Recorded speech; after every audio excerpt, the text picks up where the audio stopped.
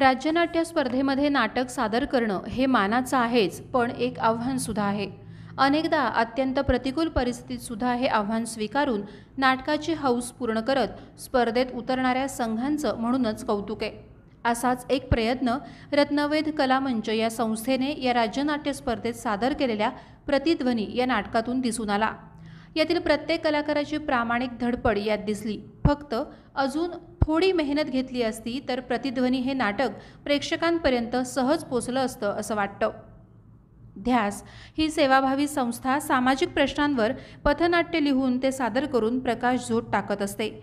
याद्वारे जनजागृती करण्याचं काम ही संस्था करत असते. प्रणव हा त्यांचा अध्यक्ष लेखक मेंटॉर असतो. त्यांच्यासोबत या संस्थेत राधा सारंग राजेश कुणाल आणि सई हे सगळे स्वयंसेवक म्हणून काम करत असतात. राधा आणि सारंग यांचं संस्थेत काम करताना झालेल्या ओळखीचं रूपांतर प्रेमात होतं आणि ते लग्न करतात. या संपूर्ण संस्थेवर प्रणवच्या विचारांचा प्रभाव असतो. तो म्हणेल ती पूर्वदिशा अशीच संस्थेची वाटचाल असते. कालांतराने या संस्थेत सई नावाची नव्या विचारांची मुलगी जॉईन होते.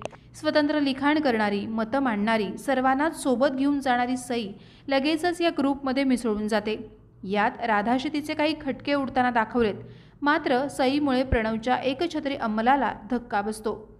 एकीकडे ग्रुप वेगवेगळ्या सामाजिक प्रश्नांवर काम करत असतानाच राधा आणि सारंग यांचं वैवाहिक जीवन मात्र अस्थिर होतं. दोघांमध्ये खटके उडत असतात. राधा प्रॅक्टिकल असते तर सारंग संसाराची जबाबदारी असतानाही संस्था आणि सामाजिक चळवळीसाठी नोकरी सोडतो. अनेक विषयांवर त्यांचं पटत नसतं. त्यात संस्थेत एकत्र काम करणाऱ्या प्रणव सारंग आणि राधा यांच्यात प्रेमाचा त्रिकोण असतो. प्रणवसुद्धा राधावर एकतर्फी प्रेम करत असतो मात्र ते तो व्यक्त करत नाही. सारंग आणि राधा विभक्त होणार हे समजल्यावर तो दोघांना एकत्र आणण्याचा प्रयत्न करतो. अशात एका हळव्या क्षणी राधा आपलं मन मोकळं करताना प्रणवच्या खांद्यावर डोकं ठेवते आणि त्याचवेळी तिथं आलेला सारंग हे बघतो आणि गैरसमज करून घेऊन राधाला आणि संस्थेलाही सोडून निघून जातो. हे सगळं सुरू असतानाच सई एक नवं पथनाट्य लिहिते जे फक्त संस्थेतील सदस्यांसाठीच असतं. त्यातून एकमेकांना समजून घेऊया असं तिचं म्हणणं असतं. हो नाही असं करत सगळे शेवटी तयार होतात आणि रंगमंचावर कोर्ट रूम तयार होतं. आरोपी प्रणव असतो. त्याच्याबद्दल सदस्य आपली वेगवेगळी मतं सांगतात. त्याची वागणूक हुकुमशाहीसारखी असते. तो मतं लादतो. समाजसेवा बाजूला ठेवून आता तो केवळ स्वप्रसिद्धीच्या मागे लागला आहे. इथपासून प्रणव राधावर प्रेम करतो म्हणून मी राधाला सोडून गेलो असा कबुली जबाब सारंग यावेळी देतो. त्याची साक्ष सई घेते तर उलट तपासणी राधा घेते. त्यातून सारंगच्याही चुकीच्या गोष्टी गैरसमज उघड होतात सगळे सदस्य आपापली मतं मांडतात. सईनं केलेल्या या वेगळ्या प्रयोगामुळे संस्थेतील वातावरण बदलतं. प्रत्येकालाच प्रत्येकाचं मन आणि मत समजतं. आपल्याच मनातील विचारांचा प्रतिध्वनी उमटतो आणि ध्यास संस्थेचे विखुरलेले सर्वजण पुन्हा एकदा समाजकार्यासाठी एकत्र येतात. या नाटकामध्ये प्रणवचं काम प्रशांत सावंत यांनी केलं आहे राधाचं काम आसावरी अरुण आखाडे यांनी सारंग रफिक मुल्ला यांनी राजेशचं काम जगदीश कदम यांनी केलं आहे कुणालचं काम रोहन साळवी यांनी.